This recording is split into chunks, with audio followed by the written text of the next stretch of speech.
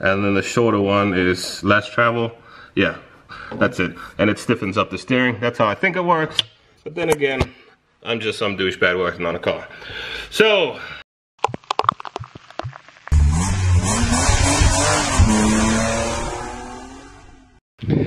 Hey guys, welcome back to the channel. I'm Warwick and you're watching Gas Tachs.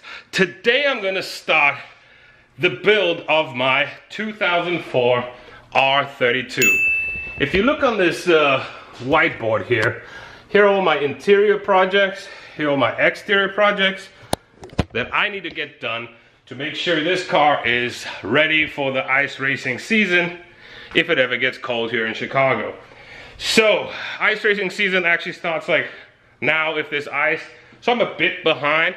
So I gotta jump in and get working on it. But first, my garage is a mess. Uh, I don't know how I let it happen, but yeah, it was the holidays, uh, lots of projects, and I followed my typical routine, I guess, of not putting stuff back.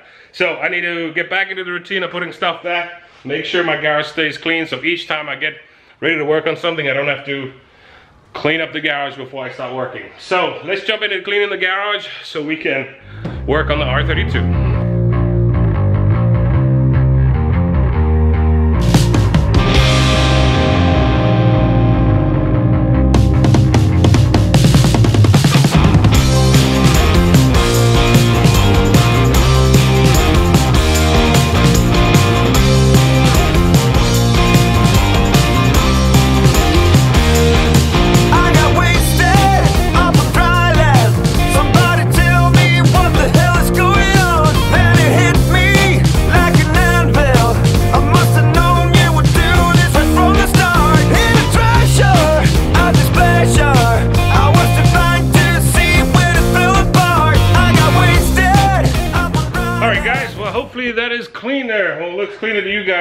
Definitely looks cleaner to me. Um, so what I'm going to be working on today, because I think I have a buddy coming over to help me now, is the installing the rear sway bar.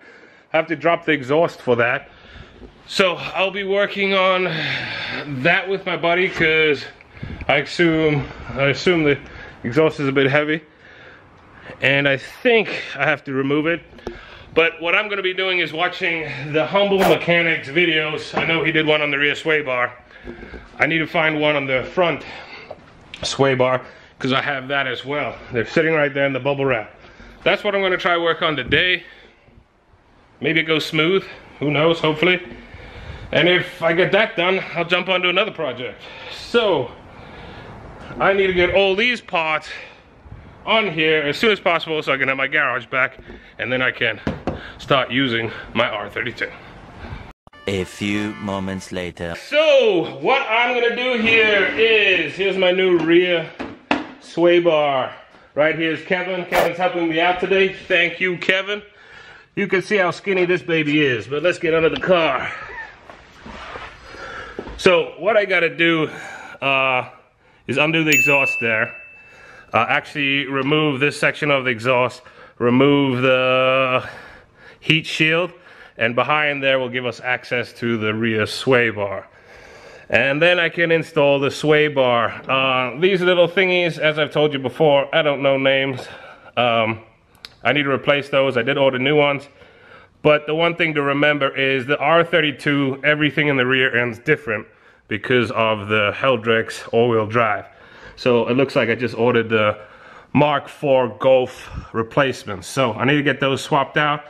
I also ordered the upgraded bushing kit for the rear sway bar, but since I ordered the H&R sway bar, it's a thicker sway bar. Those do not fit, so hopefully ECS Tuning takes them back because I need them to be a future sponsor if I keep doing these things because money doesn't grow on trees yet. So let's jump into it, remove this exhaust, and go from there. Enjoy the shitty time lapse.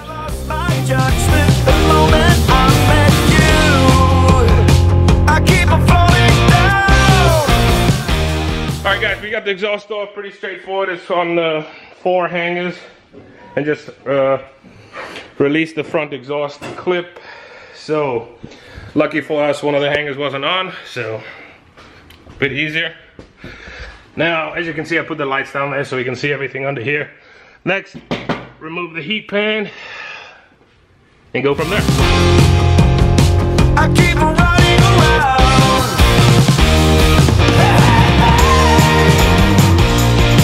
Please tell me what are you looking for? All right, quick little update. Uh, heat shield is off. My bench thingy here is awesome. I just fall into it. All right, what we have here. Uh, this little box looks like it's the suction for the louder exhaust, but it's pretty straightforward from now on. It's just two bolts here, two bolts here. This skinny little sway bar comes off. We put the new one on, and capiche, finito. So that's what we're gonna do now. Uh, and then put it all back together.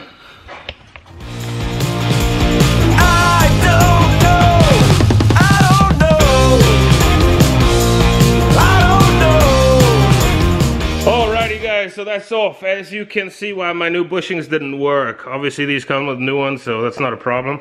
But this is, I'd say nearly double the thickness um, as the stock. So, and these are adjustable, meaning you can choose which hole you want. Uh, lower, tighter.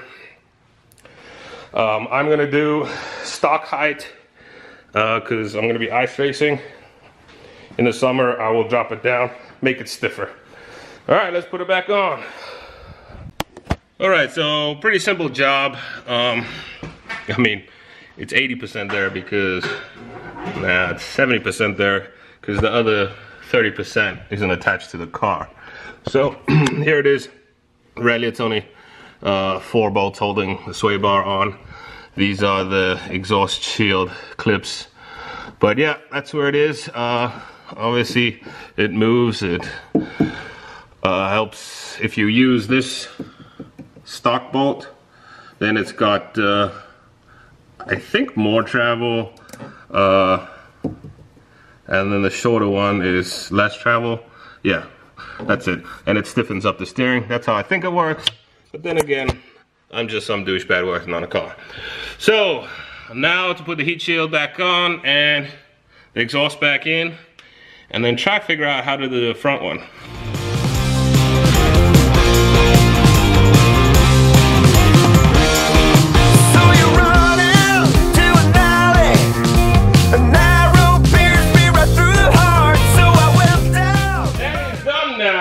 Sway bar is hooked up, exhaust is back in. Uh, pretty simple job if you're missing this 30%. um, realistically, it's two, four, six, eight, nine bolts and four of those little weird ex exhaust holder things. Uh, simple job. Now, I think the more difficult part is the front one. I found a video. Thank you, uh, Mr. Abalone? Abalone. Abalone. Thanks, Abalone. I'll put the link in the description. Uh, he helped me here. So if you're looking under the car here, there's this whole subframe here that needs to be loosened. Um, whatever these things are called, swing arms, I don't know. Judge me if you want, I don't care. I'm gonna remove these because I got new bushings for them. So right now I'm gonna strap up the axles up here so there's no weight just on the axles. I'm gonna remove these completely because I need to replace the bushing. I'll do that on both sides. And then we'll, I've also got this, I think this is called the dog bone engine mount. I got new bushings there. I'm gonna remove that, lower the subframe, get the control out, arm out, and uh, go from there. So, here comes the time lapse.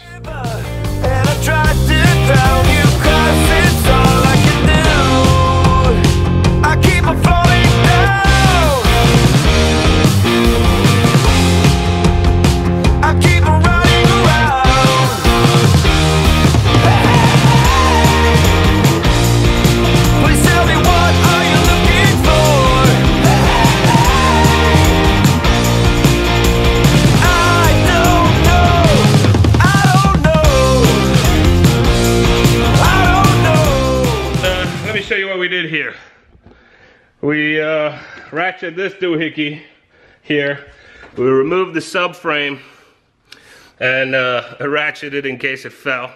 Removed the dog bone. I think the engine mount's called a dog bone.